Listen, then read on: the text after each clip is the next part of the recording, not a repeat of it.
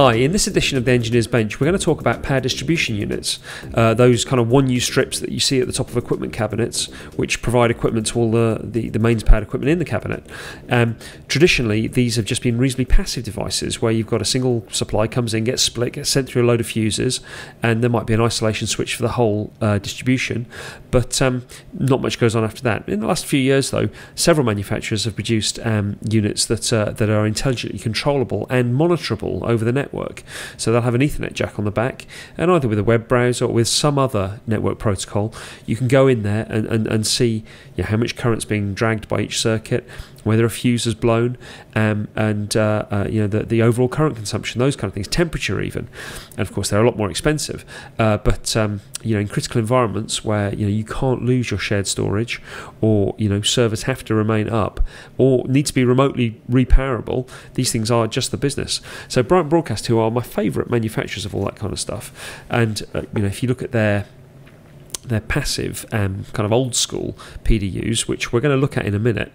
Um, I've probably installed a thousand of those over the last ten years, um, but but they've recently produced a line of of, of network. Um, uh, intelligent PDUs, as they call them. And I'm very pleased that we're going to be talking to Simon Quill, their technical director today, old friend, uh, old drinking buddy from uh, IBC, and uh, uh, he'll be telling us a lot more about it. But uh, we're just going to have a little bit of a, a, look inside one of the old units now, and, and, and just a little bit of a look at the outside of the new unit.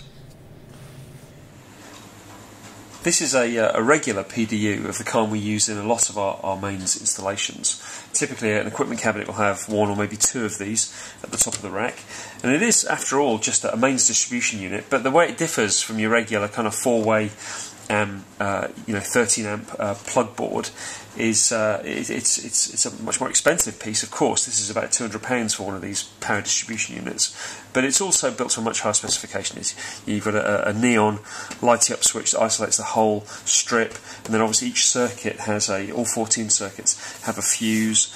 Um, typically, they come shipped with um, with T 3.15 amp uh, fuses, but you can put up to 10 amps per circuit. Although obviously you couldn't draw 140 amps through the whole board, but that would be ridiculous. But but and then each circuit as well has uh, has an LED to indicate if the fuse has blown. So you know if this is in the top of a cabinet and uh, and you've got a piece of equipment that's out in the cabinet, obviously you can see immediately uh, which of the circuits is out uh, because because uh, the, the, lights come on. And if you take a look around the back here, um, you know it's a bit different from a regular uh, power distribution strip because we've got we've got this rather handy lacing bar. Uh, so, so the wiremen, when they're, when, they're, when they're lacing these cables into the cabinet, can, can nicely dress the cables onto the bar so that things don't get accidentally pulled out, etc.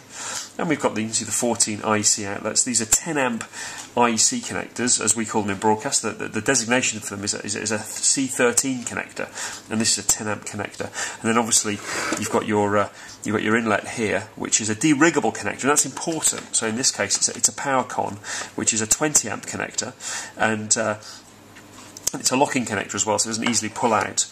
And, and of course, as well, uh, because you know we're, we're, we're very obsessed with earth safety and, and, and, and the security of the safety earth, uh, there's uh, an earthing tag on here, which if so if we if we bust open this one, it's not powered, of course, the connector's not there.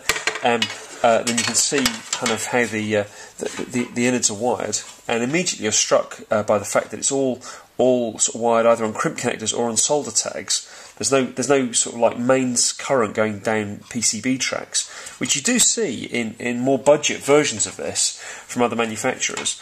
But uh, the thing that strikes you is this is obviously a, a hand built um, piece uh, because everything is either crimped uh, uh, on, on, on, on lug connectors or it's soldered. And, and, you can see the bus bars for all the connectors here. Uh, of course, the, uh, the, the neutral and the earth are on a bus bar, but all, all, all, the all the live circuits are, as we said before, individually fused.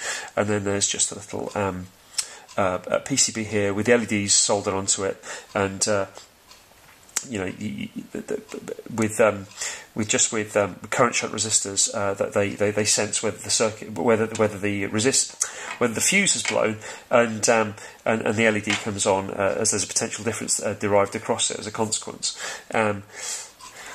Getting back to earthing, it's worth noticing that um, as well as obviously the earth that comes in on the mains connector, there's, there's an earthing lug as well, which, you know, being a, a, a, properly made metal box, all these earths are connected together internally to a star point. point, and in fact even the deriggable uh, top lid, uh, you know, has an earthing strap on it.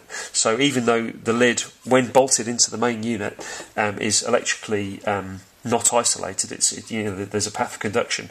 The point is that it's all belt and braces. There's always multiple paths back to Earth. And if this is in a cabinet um, uh, where you've got multiple pieces of equipment, uh, we would have run earthing straps from the main Earth distribution unit to the cabinet. So the metalwork of the cabinets is all at Earth potential. Um, so that any equipment bolted into those cabinets, the chassis of that equipment is also earth potential.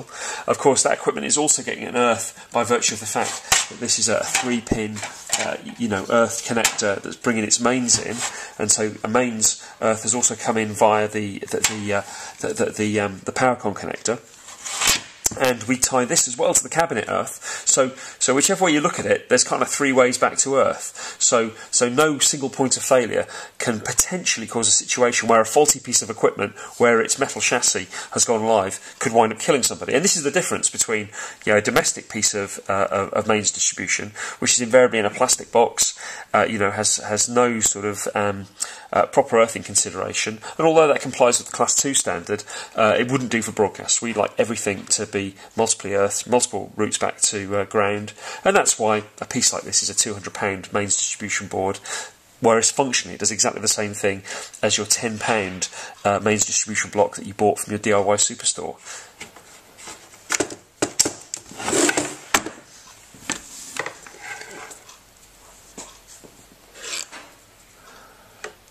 So if I simulate a fuse blowing just by releasing this fuse here, oh, can I do it with one hand? There we go. So take the fuse out of its holder, and you can see we've got a red LED to indicate to the uh, the engineer in the machine room that the fuse on that piece of equipment has gone. And there we go. Very very hard to see, but that is a, a T uh, 3.15 amp uh, fuse. So so, so a um, a quick blow um, no, T, anti-surge. It's an anti-surge fuse, um, uh, and there's one of 10. Typically, they're each fused at 3 amps, but there's occasions when, for example, we're taking one circuit, and typically we use the last one in the cabinet to feed the UPS at the bottom of the cabinet. So maybe there's a, a bay-mounted UPS, which will feed with a 10 amp uh, feed out of the last circuit down to the UPS, and then a second one of these PDUs in the cabinet will be fed by the output of the UPS, and then We'll cable the bay with two different colours of mains cables.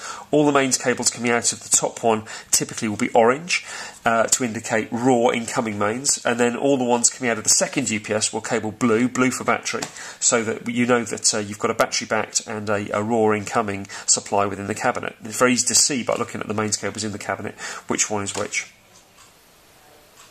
So moving across to the other side of the Root6 workshop, well, to our other set of wiring benches, our workshop's actually quite big. You can see all our sort of storage area over here, and then through the glass there is the uh, the office where, uh, where, where we sit and do all our design work. But uh, moving over to, uh, to, to this other PDU that I've got on the bench over here. Again, this is manufactured by the same company. This is Bryant Broadcast, and um, this one is kind of a step up again. This is is what they call an intelligent PDU, and again, it's the same. You'll notice the same thing. 14 individually fused uh, circuits, and there's a main also supply uh, fuse as well. And the reason for this is that this is um, there's a lot more intelligence in this. So if I turn the unit on, press the button there, the first thing you'll notice is the circuits liven up, not all at once, but in a stepped fashion. In fact, this is entirely controllable by software. You can set up a macro to do that.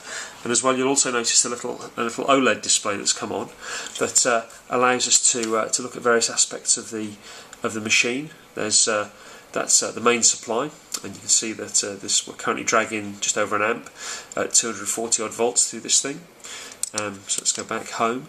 Um, internal temperature, and we can reset the Ethernet interface, which should tell you something. Back home and have a look at the output, and we can step through the, the, the outputs and see how much each output is dragging. So currently the first output, which we haven't given a name to yet, but actually we can in software, um, is dragging uh, uh, just shy of an amp, uh, a bit more than 100 milliamps, uh, quarter of an amp, and uh, I think there's nothing else connected, and it tells us that by no load. So let's go back home.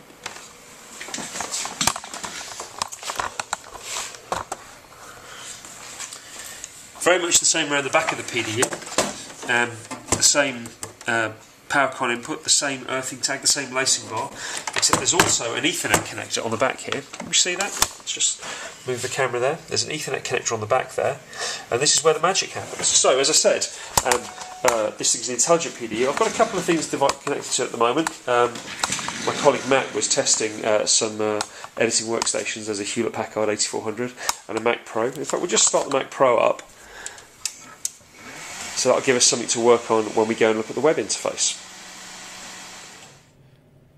So we've pointed our web browser at the, the IP address of the um, of the power distribution unit, and we won't kind of you know spend too much time uh, thinking about that because obviously networks are networks. But suffice to say, this thing initially uh, looks for a DHCP server, and uh, and then it's quite easy uh, to tell the um, IP address of it. In fact, Bryant do a rather splendid little utility, which I will just run um, to, so we can see what it looks like. Um, and that is. Uh, where are you? OS 10 downloads inside there.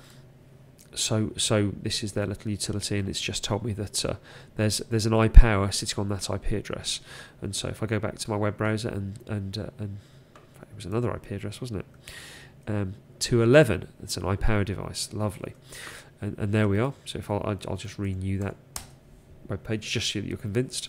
And that um, we're, we're seeing several things here. There's a real-time measurement of of voltage, uh, and in fact, this is a real waveform apparently. And uh, Simon will be telling us more about how that's sampled and presented later. But the blue waveform is the is the, the incoming mains voltage, and the, uh, the, red waveform is the current. And you can see that uh, you know, this is the effect of, of sort of non-linearity in the power supplies of, of equipment.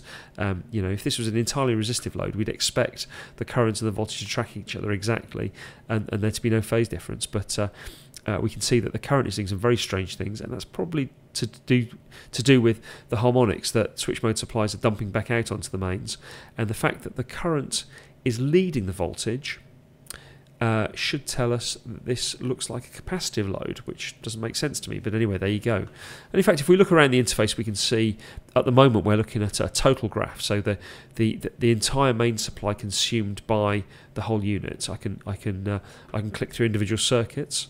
So if I if I, if I click on that one and uh, um, once it's sampled, it's showing us exactly what's on that first circuit, which uh, from that previous little clip we saw is currently a Hewlett Packard um, workstation um, dragging nearly an amp. You know, it's a big beefy industrial computer, um, so you'd expect it. We could turn it off from here, or we can we can rename the the outlet, uh, or we can go and look at the other things that are on there.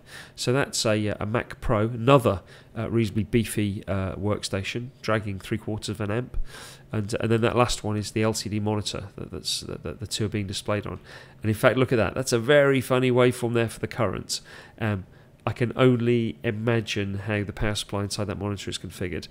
Clearly, uh, it's uh, it, it, the main switching transistor in the switch mode supply is only switching in when uh, when the voltage hits a, a limit, uh, it's charging and, uh, and and then only needs to be on for a certain amount of time. Obviously, if that supply was being more heavily taxed, we'd see a, a, greater tracking of current with voltage. But uh, that's a, kind of a very funny waveform you wouldn't expect to see.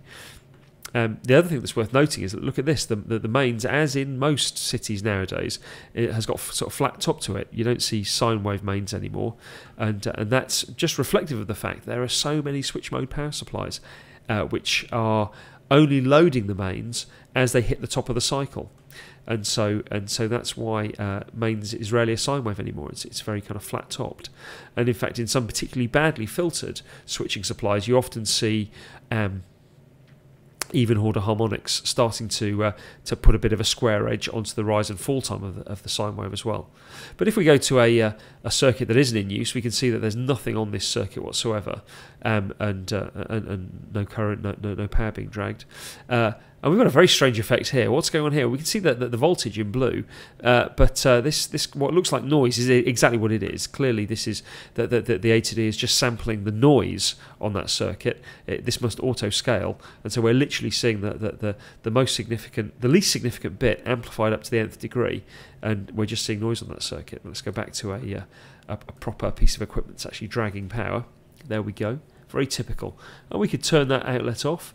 Uh, and in fact, if the fuse fails, um, uh, it, it'll light up show us. In fact, I'm just going to go and simulate a fuse failure by releasing a fuse. So there we go, outlet number six. I, uh, I released the fuse, and uh, of course, it shows in the interface as being a fuse has blown.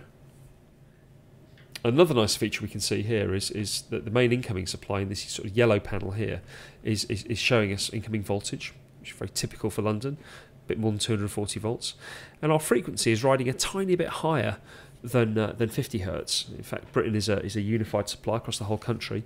Um, so so so this is exactly the same frequency that everybody in Britain will be seeing at the moment. Uh, law mandates that this has to be very very close to 50 hertz. Um, in aggregate, and in fact, over a few minutes, this is exactly 50 hertz. But at the moment, we're riding a bit higher than 50 hertz.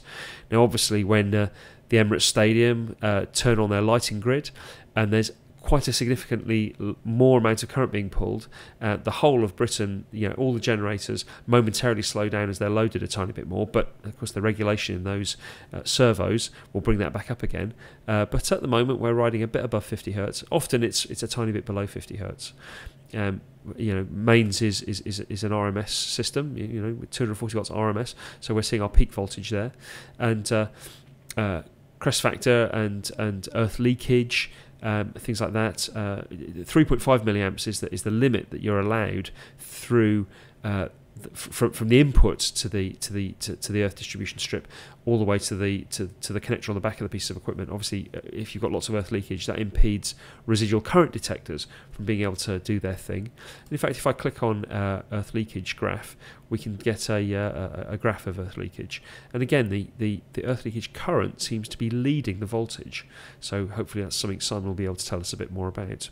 We go back to the total graph and uh, and see exactly what's coming through our system. Uh, and this is very powerful. This is like having you know a whole 14 Fluke um, mains analyzers built into your power distribution strip. Well, as I say, I mean there there are there are a couple of things I can show. Yeah. Um, there's we have a TCP configuration program. Uh, I shall connect to a unit. So this this is just demonstrating where you can set the IP address of the unit if it's DHCP on. Oh, I'm not. I'm not actually sharing my screen at the moment, am I? So that's not really going to do much good. So let me just uh, disconnect that, minimize that, go back to turn that off. Uh, cool. Falling at the first fence, that's cool, isn't it? right, fantastic. So I can see you. So if I take you full screen, and um, that's good. Uh, you probably want to. I can see two of me, so you might want to. You might want to. Perhaps. Yeah, yeah. There you go. Yeah, yeah. Get get rid of that, perhaps. And, still there? Yeah, yeah, yeah. It's all looking good now, actually. So I, uh, I can't see you at all now. So. Okay. You'll just have to take it as read. I'm here. so yeah. So first of all, there's a there's a program called iPower Discover, which is this one. If you click Discover Devices, it sends out a um, a message onto the local intranet.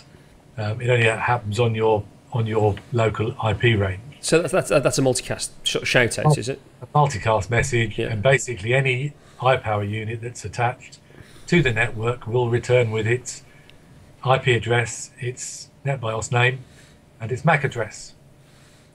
You can see here that the host name, the, the net the NetBIOS name, is editable by default, it leaves us with iPower and uh, and its serial number on the end.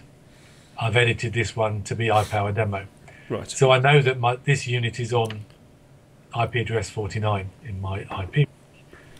So in my iPower TCP config program, I've filled in the address. It talks on port 1243, which you can change. Say connect, it's connected. Read the network settings and this is now reading okay. it out. So that's, that's suck the details out of that particular unit. Yeah. unit. Um, you can select whether it's DHCP or not. You can set the IP address, subnet mask, all that normal stuff. You can set the net, the, the NetBIOS name. You've also got these two fields: unit location, unit name. And, and they're just arbitrary strings, are they? Just for your edification? Yeah. Arbitrary strings, but they get used later on. Right. You can disable TCP control. Um, you can also set the units up using serial. If you don't want people to be able to control it over TCP, Right. you can turn that off. So you're limiting it to serial programming um, for security if you you know want to. There's this security settings here for the web browser where you it's not implemented yet. There'll be a firmware update to do this. You'll be able to set a, a password, a username password to view the web browser interface, a username and password to control the unit that's on the web browser interface, and then a username and password for admin, where you'll be able to set this sort of stuff up through the web browser interface. None, none of that's implemented. It's in the roadmap, to use a horrible word. um, but um, so that will get there at some point. So, Um, quick, quick question on, on the network side of things, Simon. Um, uh, obviously, you've got the, the IP address and the port number there. Can, can you can you send a connection over a NAT router? So, so, so if you if you knew the IP address and you had a port open on a NAT router, can you can you get in from the, the big bad internet to it to Oh, a absolutely. If, Right, if, you've opened, if you've opened a route to a unit that's in a remote building, right? then that's absolutely not a problem. It just you won't see it on the um, It won't discover it, of course. Yeah, yeah. it's not it, not within your Within your within your C class network, within your LAN. Yeah. Yes, indeed, Yeah. absolutely. Um, I don't know whether I'm allowed to plug these things, but we sold a lot of these units now to uh, Telenor in Norway. Right. Um, there is one situated on the island of Svalbard. Fantastic. If you look it up in Google Maps, is in the middle of the um, sea, north of the Arctic Circle, um, and there isn't a lot on Svalbard other than a um, antenna farm and an airport and a few sheep, and I think that's about it. Um, So that's exactly what they do. They're they're using um, Skyline's DataMiner um, control software um, to talk to it over TCP, and it's on the remote island, so they can remotely turn things on and off. I, I suppose that that's the power of something like this, isn't it? The fact that, the fact that you, yeah. you know you. The number of times I've had people call me at the weekends when something just physically needs power cycling. You know, what what a fantastic thing to be able to do that remotely. Indeed. So, I say that's that's exactly why you can do that. It's one of the reasons this was all designed it in the first place. Um, What's the timeout? Um, it's, it's currently set to three seconds. What's that? oh, that's just for communications. It, it, you know, if it doesn't get an answer back from the unit within three Okay. seconds, it's a timeout Right. limit. If you've got a very latent uh, and a connection that's got high latency, you can increase the timeout. Yes. it's going to wait to, before it complains about not having it, had an answer. The way the system works, both on serial and over TCP, is you send it a command. One of the first things it does is respond with the command back to you, so that you know it's received the command Right. um, and then it'll answer. Or you know, if it's got if it's returning data, it replies with whatever command you did plus the data that you requested. So you can a double check it's received the command correctly, and b, you know, you know that it's replying for that particular request. The um, the command structure has a CRC checksum in it. If the unit receives a command that the CRC doesn't tally, it just ignores it. Right. So you know, it, it, it's not going to react. It's not going to respond to corrupted commands because it could then turn things off randomly that you don't want it to. Indeed. Yeah. Um, again, something else not implemented: time server settings. Um, you know, there, there's been talk about data logging. We're not convinced that we're going to do data logging inside the unit. Um, Well, you, you, you, start getting into lots of flash memory then, yeah. Exactly. Yeah. So it, it, it, it's just there if we decide we need it. This last little box on the right hand side, OLED timeout. The, the front panel display, as you've probably already described, has a OLED screen on that can get lots of information. It times out after two minutes. Some people have said they want it set up for longer. I said when I've got them on an exhibition, I want it to be on all the time. So um, you can now set the timeout delay for the screen turning off from its default two minutes in multiples of 10 seconds. Um, if you set it to zero, then the timeout is disabled completely. Right. We don't advise that because, like all display technology, they have a you know, a discrete lifespan. Yes. Yeah. So it's better to let it turn off when you're not using it. So, know, that's pretty standard networky setup type stuff. If you change anything, you write the network settings to the unit, it uploads them back to the unit, they're held autonomously in the unit, and then you reset the Ethernet processor because the the data is saved in one of the PICs in the main on the main board, not in the Ethernet PIC. Right. Which means if you if for any reason you had to change the Ethernet board, it will it will remember all the settings that you had um, for it because it, it reads them from one of the other PICs in the unit. So presumably the first, as soon as power is stable and the Ethernet process is running, the first thing it does First is it does is yeah. go, give me my network data. Well, give me lots of data actually. It reads lots of stuff um, so that it can then display it on the web browser interface. Um, so that's why the, you know, again, if the unit's remote, you don't want to have to go and press the front panel button. So that just resets the processor and forces it to refresh the data for reading out to, to the web browser. fantastic.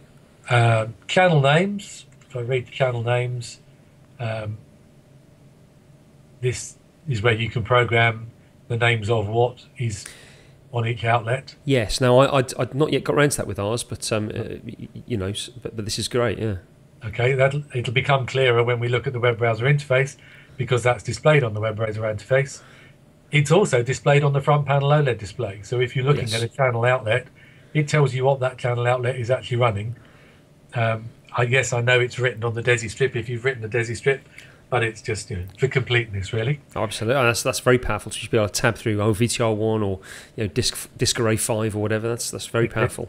Um, again, you write the channel names and then you reset the Ethernet processor again to reread those out.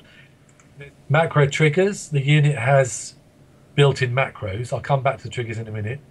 If I click on edit macro, I'm now downloading the um, macro program that's in the unit um, here.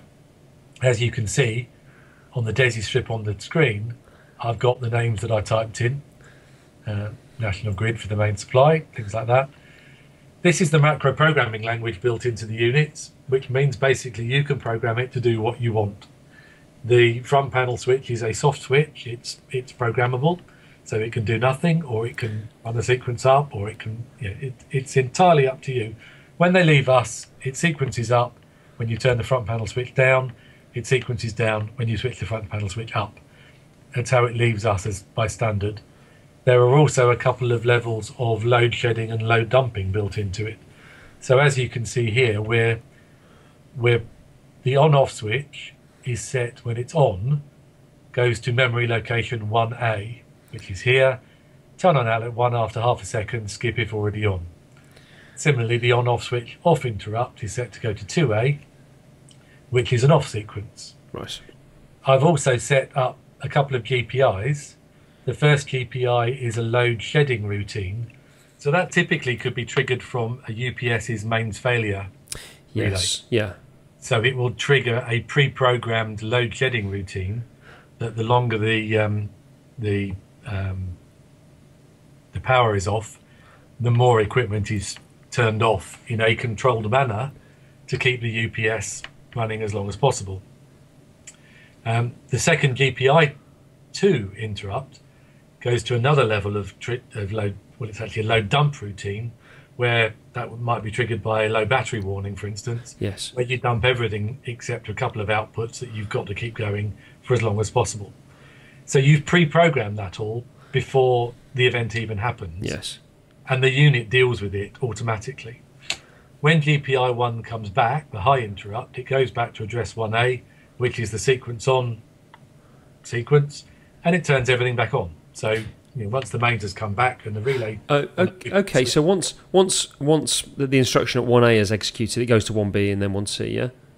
yes, until it reaches a stop. A stop command. Sure. Okay. I, de- I can actually demonstrate this because the unit is on at the moment. If I click trace on, Yeah. it says, "Oh, well, I'm at memory location 24," and I happen, you know, That was the last thing it did. Yeah. was the last thing it did. Yeah. So if I say go to 2A, I think it was, go to, it's now running the sequence. And Okay. And we can see we can see the, that- the E LED. The, the sequence off, and you can see the LEDs sequencing off. It- And I go back to 1A and say go to. You say it's, a mercy that neither your computer nor your router were attached to this power strip when you did that. Yes, in there, done that. Yes. oh, I've turned it off and my screen's gone black. What do I do? No, I say I've, d- I've done that. Um, so I can demonstrate the um, I'm trying to remember what it was. So, you, so you really can get your macros tight and good before you have to deploy them, kind of thing. Yes, absolutely. This is no. This is actually controlling a unit live. Yes, So what you're seeing the LEDs on the on the screen is reflective of the real. is yeah. reflecting what the unit's doing. But you could it- you could do this at the workshop before you even take it to the customer's Yeah. premises, kind of thing. Yeah. I've just switched the front panel switch of. Oh, I, have, I haven't turned trace on, but you can see that the LEDs are going off because I've actually I've flicked the front panel switch on the, the front of the unit. Yes. Yes. If I put trace back on, you can see I'm at the end of the, the off sequence. Yes. I'll flick the front panel switch back down again, and I'm now now gone back to the on sequence. And there we go. Look at that. And so, that, those two hex digits that show the position in, in memory, how, how, how much space is there for storing stuff? It's um, 123 um, macro positions. So it goes up to 7F or something like that, is it? yes, it's not quite all the way to. Um, it, yeah, it goes up to 7F. You see, you're very good at your Yeah. hex um, but it starts at 10. Right. So it one zero, I should say, not 10. Yes. Um, but um, yes, there is the opportunity to input, put extra memory in if people want extremely long macros. There's a on the board there is a six, uh, an eight pin DIL socket that you can put memory in. Heavens. I mean, you know, this is a mains nobody, unit. nobody has ever written macros that long. Sure. Um, as I was going to say, I was just going to demonstrate. If I go to 3A, right, that's turned four outlets off straight away. Right. Now I've got a five second delay between each outlet and it's sequencing down. Um, but again, that can be anything up to an hour and three quarters between relays, actually. But um, not that you'd ever probably want to do that long because your UPS wouldn't last that long. Um, and then just trigger back to 1A and it goes back to the sequence up. So, Okay. Okay, so all the um, all, all the buttons you've got to the left hand side of the of the um, of the live um, macro running window, um, Yes. uh, uh, uh, they're, they're all commands, are they? They're all commands. Yeah. If I scroll down to, I'm, I'm now at the end. I can I can do things down here without affecting. If I turn auto increment on, and I set say I want a five second delay. So you set five seconds into memory. So this, you just click on these buttons, and that's, and it can be any sequence you like Yeah. and written a, a sequence of on events, if you like. Yep. So that's yeah, and similarly you can click the on button and it will set set off commands. But all of these are things that you can you can get it to do. So if I want to if I want to go to 1A memory location on a GPI 2 low interrupt, Right. I see. you go to GPI 2 low interrupt, click on that. So it says, right, GPI 2 is an input, low interrupt will go to address 1A. Alternatively, if I actually want to set that to be an output, and I want it to be GPI 2, GPI 2 low output, I click on that button. So now it's changed the GPI to be an output, and it will go low when it reaches that memory location. Right. Right. So whatever's in the sequence of, thi- of this command sequence, it will do until it reaches the next stop. Yes. Yes. Um, you've got a couple of counters in there. You can, lo- you can load a counter with a number and then decrement or in- increment that number as part of your macro code. For instance, if if your main supply goes dis- if your main supply disappears and then comes back and disappears and then comes back, you could say, well, actually, after the third time of it going away, I don't want to switch back to it. I just want to stay on the backup supply. Yes. Then you would load a counter and say, you know, when load it with three, each time the main supply disappears, you decrement the counter. Once it reaches zero, you say, actually, I'm never going to switch back. So you disable the, the switch back and things like that. So this is a changeover unit, as we've said. So you've got a changeover interrupt. So internally, if it if it loses the main supply, goes to backup, you can trigger a macro on that event. You can trigger a different macro when it comes back. Okay. And, and how quickly uh, can you get things done? Uh, you know, when when uh, you know you lose an input. when you lose an input, it takes the changeover. It takes about 15 milliseconds, a quarter of a cycle, Okay. to detect the mains has gone, So kit won't reckon won't be aware of that, will it? It's not and then it takes about another quarter of a cycle to actually change the relay over. right. We've we've had this on all sorts of bits of kit. The most, the most, the bit of kit that dies the most on bad mains is usually set top boxes, and we've had these units driving set top boxes now, and they don't even notice the mains has disappeared. Right, right. So you know it's it's it's not not been a problem.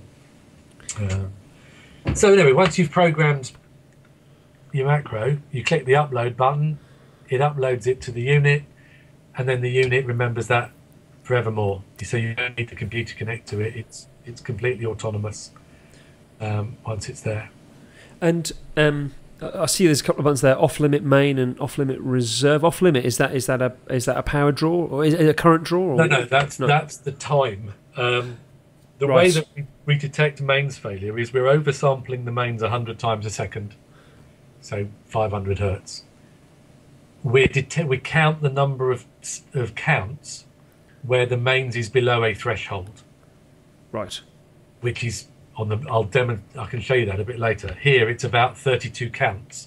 It's below a certain threshold, so you can set the um, the um, trigger point for it for the unit believing the mains has disappeared from within code.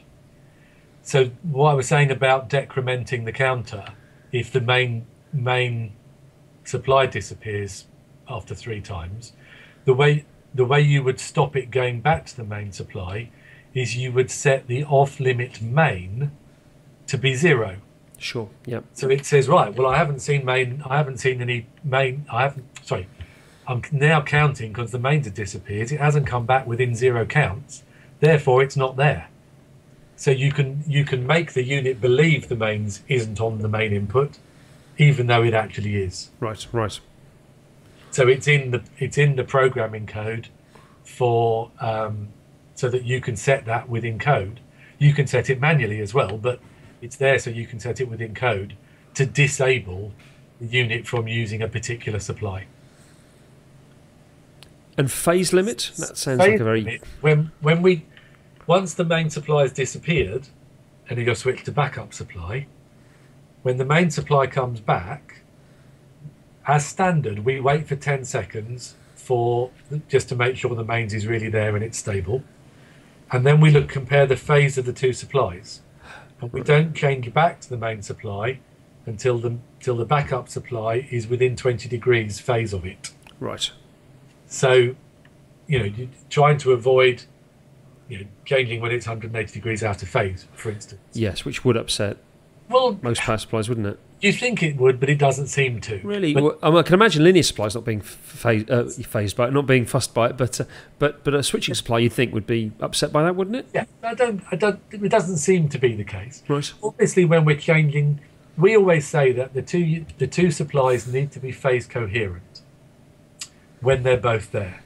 So if it's a UPS, ideally it needs to be locked to the the, the incoming mains, Hmm. so that the two supplies are in phase. Sorry, I didn't push do not disturb. Um, yeah, so we we like them to be phase coherent. So when the two supplies are there, they are in phase.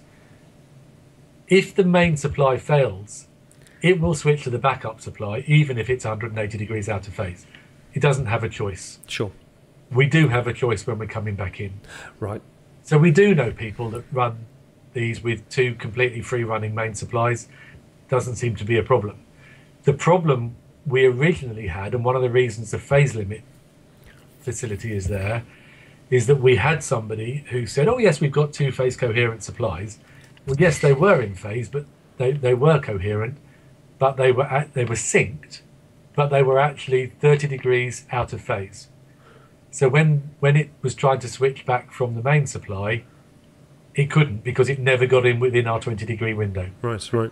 So we had to make the window bigger to cope with their their their backup sup- their backup supply was locked, but it was 30 degrees out of phase. and again, that's one of the reasons that that, that is there. And that was the result, what, of a UPS or a generator? It was actually a generator. Right, okay. They, they had been told by the manufacturer that it would be locked, it would be locked and in phase with the main supply when the main supply was there. We proved the manufacturer wrong. Right, right. Much to their chagrin, I'm sure. Well, indeed, absolutely. Yes, it was. Uh, it was slightly embarrassed, but there we go. Um, so yes, lots of things that you can set on and off. Um, they're all commands, as I say, and those are trigger points that will go to a particular memory location within the macro code. That, that's remarkably powerful, isn't it? And all this running inside your mains distribution unit. Incredible. All running inside a mains distribution unit. So if I now close that, this becomes more obvious. Yes. Macro triggers. Here, I've set up macro trigger names and memory location, hmm. and I've enabled them for macro triggers that will appear in the web browser interface. Yes. So you then give the, the user of the web browser interface the ability to trigger these macros by clicking on a button. Yes. I'm not saying that these are particularly good macros for them to be triggering from a button, but they they happen to be the macros that I've written um, in this particular unit. Now the soft the soft power button on the front, if yes. you if you obviously if you sequence up from the web interface, um, presumably you don't make any effort to have the button reflect that. No, I mean that would be nonsensical. The the LED on the front panel of the button will. It's a very good question. Actually, I need to check this. The LED that's on the switch of of the front panel switch will flash when a macro is being run. Right. I'm not 100% certain what happens if the if the switch is technically on and you've sequenced down. We'll try it in a minute, and we can see what happens. Um, I, I, suppose the important thing is it, it's the LEDs above the above the the, the, um, the, the fuses. Above, yeah, above the fuses. That is actually telling you what's going on. Hmm. Absolutely.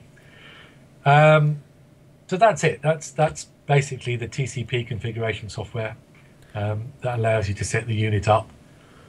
Um, and you can go in and change things with the, the, in a unit that's in service.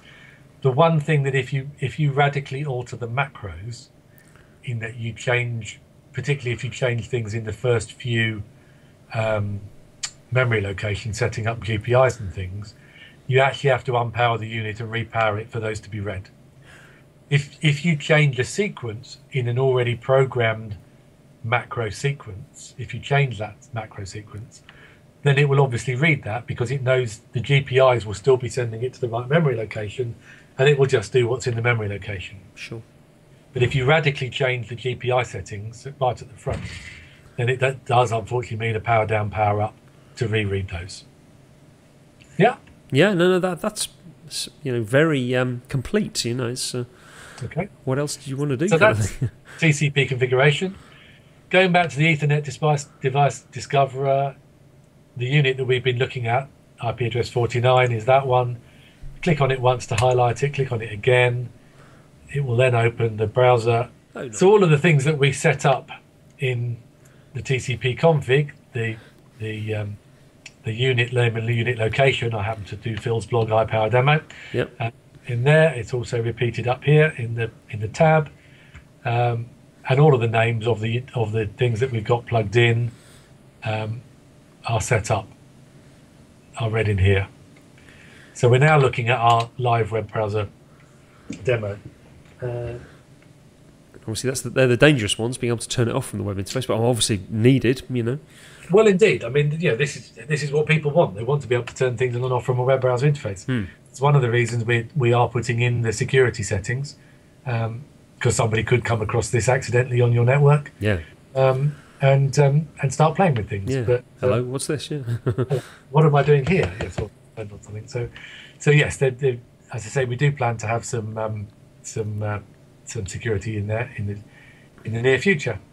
So obviously, on, on, on the right hand side of the interface, there above the live graph of, of, of volts and current, and yeah. uh, uh, because because uh, where it says graph total, that's highlighted in green. That's the graph we get to see at this moment, isn't it? The that's... one that's no, the one no, No, The green, the, because this is a changeover unit. no, no, no. I meant I meant um, uh, in in in the blue um, uh, backed. Oh, this button piece. here. Sorry. Yeah, exactly. Graph total. Yeah. Yes, that's the graph total. So that's the total graph. That's the graph of the total current through the unit. The voltage is always the voltage because that's that's just there. This is the total current of all the bits of kit that are plugged in the unit. Wow, and that, that speaks of uh, of switching I supplies, doesn't it? An individual bit of kit. yes. So if I look at my computer monitor, it takes about a second for all that data to come down because it's having to read, obviously, that graph data. There's quite a lot of data for it to download. So I'm now looking at the power supply that's in the ViewSonic computer monitor that I'm using that happens to be plugged into that. I can turn that off. So I've just turned off my the other computer monitor. Um, Oh, so th- there's a change you've done to the most recent firmware because previously I think you you saw the least significant bit sort of amplified up, didn't you? you know, Absolutely, just yes. the noise, yeah. People didn't like that, so we've we've we've turned that to when it's off, we just flatline the graph. Right. You do get a burst of it as you turn something off. Hey, that's great. You get a sudden burst of things. Yeah. The reason is that we're we're measuring the current through current transformers, and we can measure everything from one from one milliamp up one milliamp to seventy amps peak. Wow. Wow. So, we, we're doing that through a 24-bit A to D converter. 24 obviously bits. Wow. That's a lot of dynamic range, isn't it? when it's when it's reading noise and it's an auto ranging graph on the current you um, you do see the noise basically we don't do that on the total current even if all of the outlets are off so if i turn off those four outlets what you get is the noise we don't flat flatline the total current Yes. Because there might be something you actually want to look at that's very low. So we, we, we leave that as live data. But on the individual channels, we just flatlined it because it looks prettier, to be honest. So I suppose Um, having that resolution on, on the current measurement means that well, you obviously you've got an earth leakage measurement up there. That that, that becomes possible to measure those those milliamps of, of earth leakage and That is one milliamp of earth leakage. right, right. We're actually looking at the, the, the current graph of the earth leakage. At, uh, So well, well within the requirements of the 17th edition, so that's good. Clearly. So, yes, we're, we're not too bad at the moment. The reason that's green is because we're on a changeover unit and um, it's showing green because that's the that's currently the, the main supply that we're using. right. If I go and kill the, the main supply, I've now switched to the backup supply. And as you can see, the, the left hand side of the, the screen is replicating my load shedding routine Yes. um, and telling you that I'm actually sequencing down. Uh, And and how long does the beep beep beep run for? sorry, Th- w- w- Was that was that beeping? Was that was that from the unit? Yeah. Could you hear the beeping? I could, yeah, just faintly over your microphone, yeah. The the beeping is um, the beeping will basically run until you reset the alarm, Right. either by the front panel button, uh, well, only by the front panel button. There isn't actually a, an alarm reset on the uh, the web browser interface. Oh, because somebody should really pay attention, yeah. because somebody should have paid attention. Um, it's telling. Sorry, I'm facing away from my microphone. Well, I reset. the- I shut the alarm up. Um, it's basically when you when you walk into a room, it's telling you that something has happened, Hmm. and you can look at the front, the, the main and backup supply front panel LEDs, and they'll be flashing if one of them has failed. It will be flashing to say, "I had an alarm and the reason I had an alarm was that my backup supply failed. And then you reset that from the front, the front panel switch. Sure. Um, so there, you can re- you can do a reset via TCP. It's just not it doesn't happen to be in there at the moment. Right, right. Um, as you can see, we're measuring lots of stuff. Obviously, the RMS voltage, the frequency of the mains, which happens to be the same in both because it's the same supply, the peak voltage, uh, the crest factor of the voltage, neutral earth volts. Right. You're always going to get a bit of neutral earth volts um, because of the you know, resistance of the cabling between you and the and the substation. Because I'm right in thinking that most uh, premises now, um, your Earth essentially has come from the substation, from the star point of, of the Yes. of, of the neutral. Yes. Yeah. So you're going to get a bit of neutral earth volts. what's important is actually if it disappears all of a sudden. Yes, that's that's probably indicative of. Neutral and Earth together locally to you. And that's very bad. Yeah, for sure. Uh, You know, current carrying conductors and Earths. So that's uh, that's why we've got neutral Earth faults there. Earth leakage. Um, again, we demonstrated that before. We're reading Earth leakage. Um, I haven't got a. I've got a little demo plug with six milliamps of Earth leakage that I plug in when I'm at exhibitions. It, it is accurate to a milliamp, so um, it's um, it's uh, high resolution. I think is the right word I should be using. yes, absolutely.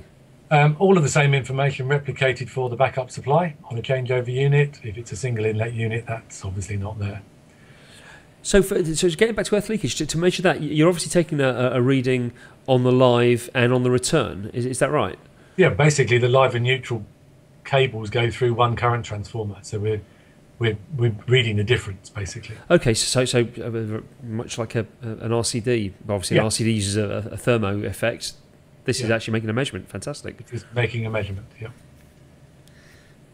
Um, total current through the unit, the current's crest factor, Yeah, um, real and apparent power right. With the correct units as well. with the correct units as well. Absolutely. Um, the power factor of the current, and and this isn't current, but it's the DC offset of the main the voltage. So that's DC on the mains. DC on the mains. Yes.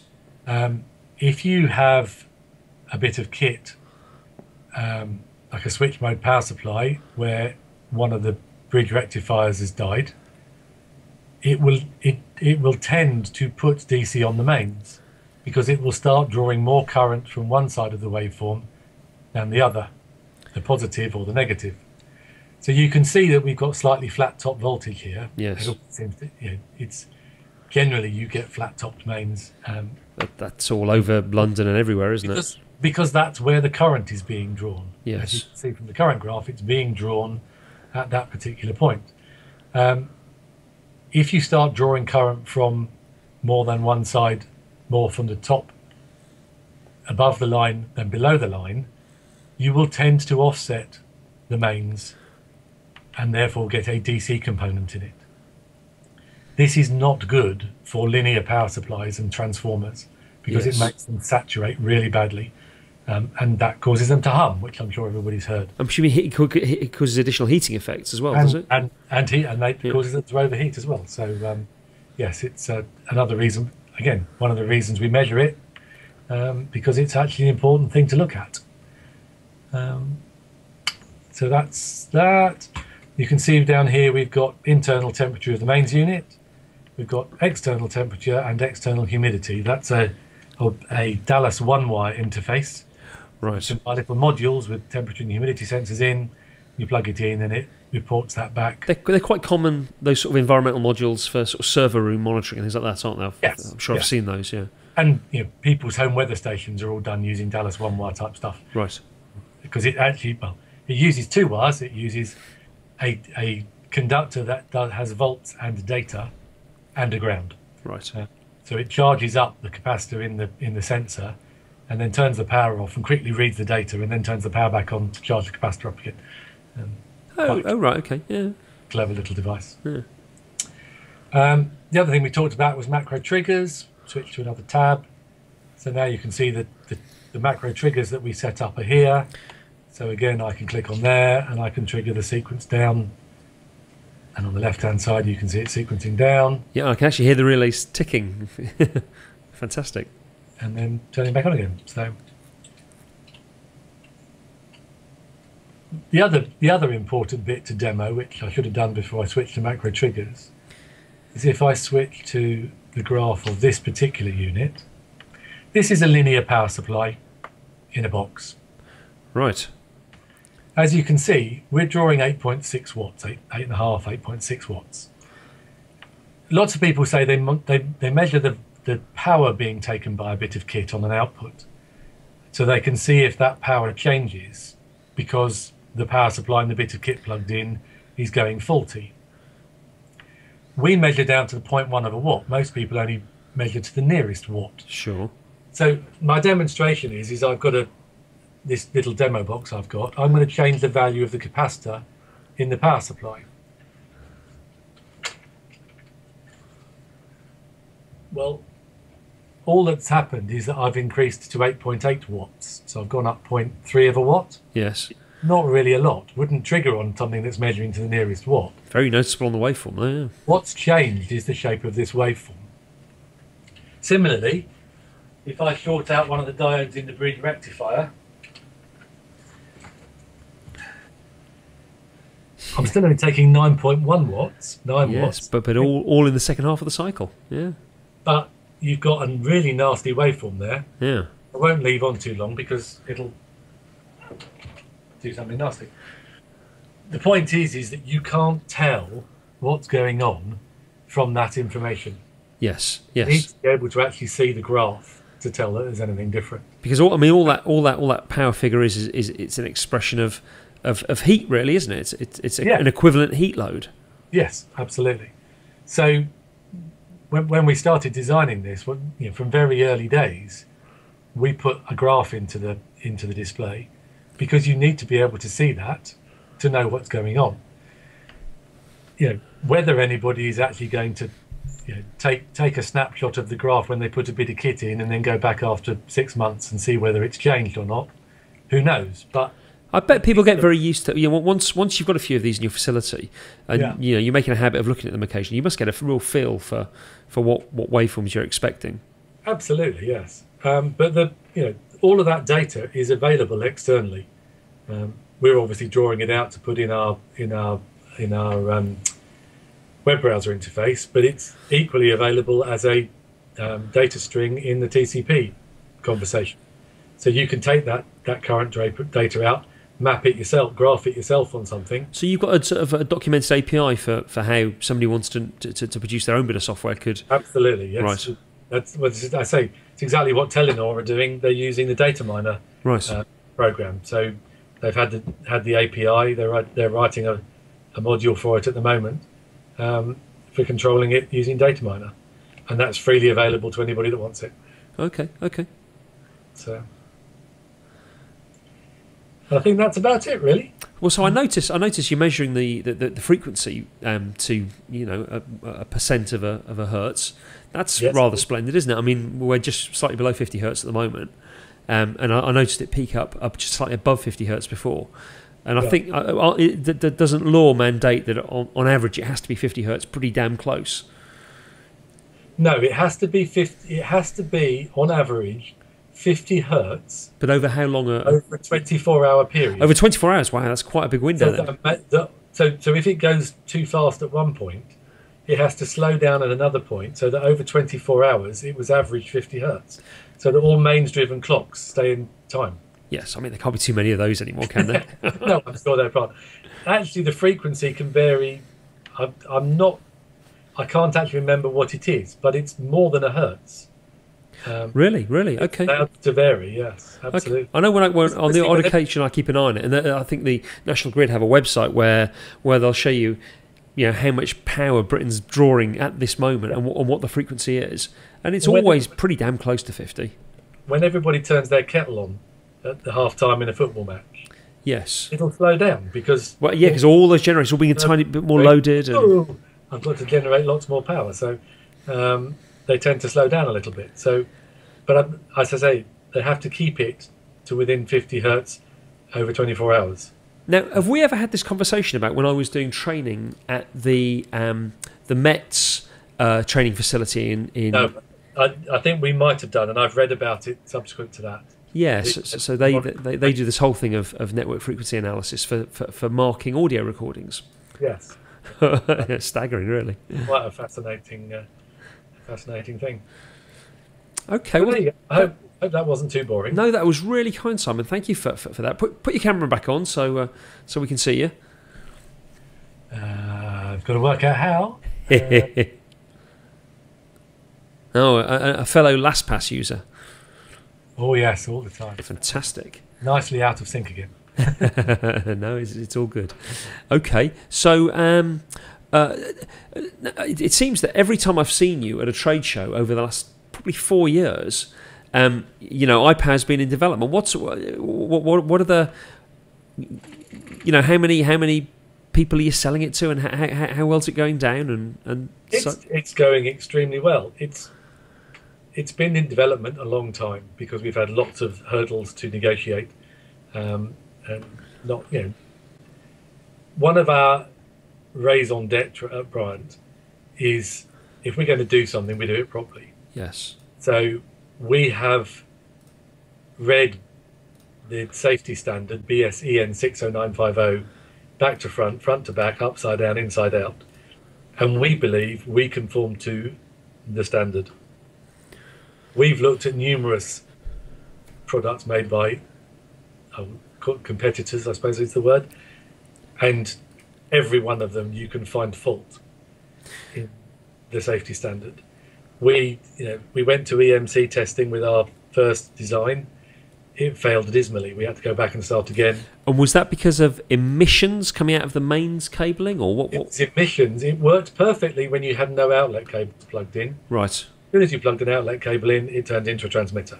right, So we had to go back and redesign it. All went surface mount with lots of suppression caps everywhere and things. And now it passes.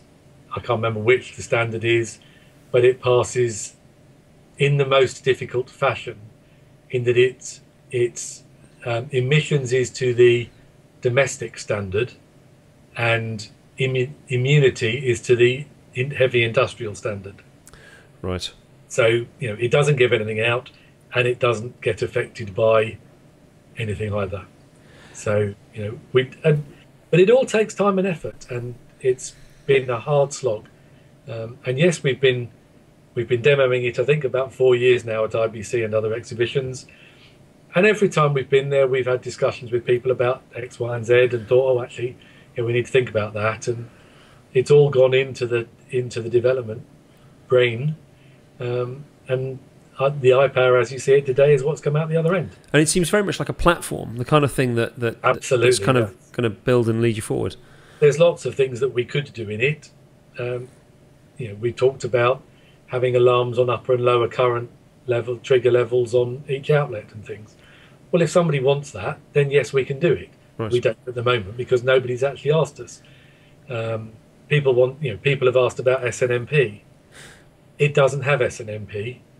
Um, the two people that asked about SNMP, when we said, well, it doesn't do SNMP yet, but we do TCP, they went, oh, fine, that's even better. So they're doing it TCP. Um, you know, yes, we'll do SNMP if somebody you know, wants to buy hundreds of them and and they've got to have SNMP, then then that's what we'll have to get on with it. But um, it's it's it's going to be a bit demand led at the moment. Sure, but I suppose as as you know needs become obvious and people pay for those things to be developed in, it kind of becomes available, doesn't it? To the I don't necessarily think that they would need to pay. They would need to make a commitment to buy some. right, You know, we're not we're not going to put something in if they only want to buy one. yeah, But if you know, if somebody comes along and says, look, you know, we really like these, and we you know we might want fifty of the things for this particular installation, but it needs to do this, then yes is the answer. If we can do it physically and technically, we will do it. Um, it just really depends what they want it to do. Um, Well, I mean that is great. As I say, I've I've I've, I've really enjoyed seeing it kind of coming along. You know, IBC and BV and places like that. And um, you know, I'm about to drop our first two into our server room, uh, and that's really because our, our IT guy often needs to be able to power cycle things. He doesn't like coming in from home. Um, Yeah. But uh, you know, long may it continue. so the one thing that I didn't show you, if you've got another couple of minutes, yeah. Um, I know we've. You, can you see that screen now? Yes, indeed. I know we've discussed this before, but I'm just showing it here, talking about the the reason for having the graph. Yes. This is a unit that is in it being used live in the European Commission in Brussels, um, in one of the big conference rooms with the big circular table and all the MEPs and simultaneous translation booths around the outside, and they're powering all of their AV gear in the control rooms with our mains units. And this is the voltage and current waveform that they currently have. Well, that voltage doesn't look anything like a sine wave to me no, indeed. and the current is very weird. Yes, whether, the, whether there's a there's a big old harmonic on top of there. Is what, Well, indeed, yes, absolutely. Yeah. It's about 100 hertz. What we think is happening, we haven't, um, or the cap at the EC hasn't got to the bottom of it yet. The rooms that he has have a big isolation transformer on their input, which technically you shouldn't do, but they have. He inherited that. We didn't have a choice. And we think that he's being supplied by a big UPS. And the UPS is spending all of its time trying to keep the sine wave a sine wave on the voltage. But because of the big inductor in the way in the way of the current the, the isolation transformer, its feedback loop is corrupted. So it's constantly working away, trying to make the uh, the voltage a sine wave, and failing dismally because it's overcompensating. By the time it's it's done a bit of compensation, it's changed because of the the uh, the feedback loop, or because of the phase or because of the error that's been induced by this big isolation transformer. transformer. Right. You wouldn't know that if you didn't have that graph. Sure. Sure. and and when we talked when when because we said to him could we have a screen grab of something you know, real world use of a mains unit and he said yes he sent it to us and here it this is what he sent us and we said we went back to him and said are you sure we want you to, to be able to show this and put your name to it and he said no absolutely it's why i bought your mains unit Right. because i wanted to be able to see that and now that i've seen it i need to go and figure out what to do about it but if i hadn't had your mains unit I wouldn't have known about it, other than buying a you know, four and a half thousand pound mains analyzer. Yes. Yes. I'm presuming his UPS wasn't wasn't telling him I'm having to hunt the whole time to try No. and track this. No. Yeah. Absolutely. So it, it you know, that uh, that was entirely the reason that we uh, that, that he bought them was because of the ability to show that graph. So That's pretty compelling, isn't it? Absolutely. So uh, so there. There we go, and and you lost some resolution, but that's fine. Okay, well, listen, Simon, thank you so much for that. That's No really problem. appreciated. that's okay. Um, be interested to see the final um, the I- final version. I shall ping you a YouTube link before I make it public, and you can tell me what you think. No worries. Jolly good. I'll Cheers, see. I'll see you soon, chap. Thanks a lot. Time to go to the pub. on a school night. oh, mine, mine are too old for that now. 26 and 22. I don't, I don't have to worry about school nights anymore. Uh, well, they're, they're, taking you to the pub now. Indeed, absolutely. Cheers, Phil. Phil. I'll see you soon. Bye. Bye.